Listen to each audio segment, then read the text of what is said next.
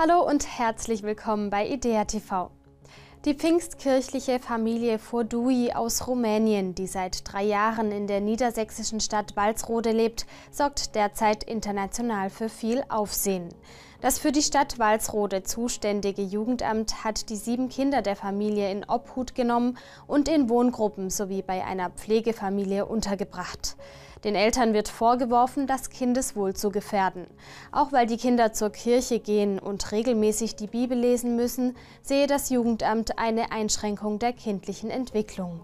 Die Familie bemüht sich um eine Wiedervereinigung, doch das Jugendamt lehnt jegliche Zusammenarbeit ab. Gegen das Vorgehen der Behörden gab es inzwischen weltweit Proteste. Der Christ und Journalist Luca Biniat ist gegen Kaution aus der Haft im nigerianischen Bundesstaat Kaduna entlassen worden. Biniat war am 4. November unter dem Vorwurf festgenommen worden, er habe Cyberstalking begangen. Er hatte kritisiert, dass Kadunas Regierung unzureichend auf Massaker an Christen durch Islamisten reagiere. Der Prozesstermin gegen den Journalisten wurde auf den 28. Februar festgesetzt. Freikirchen sind für die Gesellschaft relevant. Sie sind Salz und Licht für die Welt. Doch das funktioniert nur, wenn sie sich zu Christus bekennen. Diese Ansicht ist der Präses des Bundes Freikirchlicher Pfingstgemeinden Johannes Justus.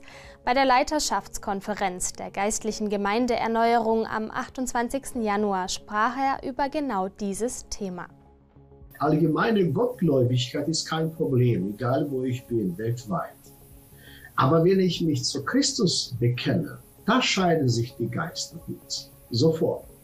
Wenn ich mit Menschen über Gott rede, ist kein Thema. Da kann man mit vielen Menschen ins Gespräch kommen und ist man tolerant mit ihnen zusammen. Plötzlich, wenn man sich zu Christus bekennt, einige sagen, du bist intolerant. Ich sowieso. Wenn du dich zu deiner Frau bekennst, bist du auch intolerant. Also du bekennst dich doch zu dem, den du liebst, nicht wahr? Stimmt's.